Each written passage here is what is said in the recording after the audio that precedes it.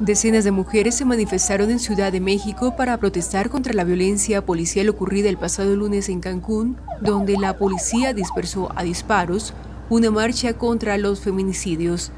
La policía de la capital vivió varios momentos de tensión porque policías rodearon durante varias horas a las manifestantes impidiendo su avance, pero la marcha acabó dispersándose sin mayores incidentes. Mientras se realizaba la protesta pacífica, varias decenas de mujeres del llamado Bloque Negro, uno de los colectivos feministas más combativos, fueron rodeadas en la popular fuente de las Cibeles. Allí se dieron enfrentamientos entre policía y manifestantes, quienes lanzaron piedras y pintura a quienes las rodeaban mientras gritaban sus consignas reclamando el cese de los feminicidios y de la violencia policial. A escasos metros de la Casa de Representación de Quintana Roo, comenzaron a correr para intentar despistar a los policías que la rodeaban pero no pudieron, así como tampoco lograron derribar las vallas que protegían el edificio.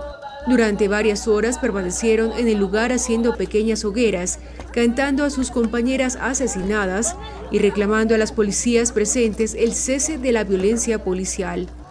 Después de varios encontronazos y discusiones con las uniformadas, las mujeres del bloque negro fueron bajando la intensidad de sus acciones y decidieron irse.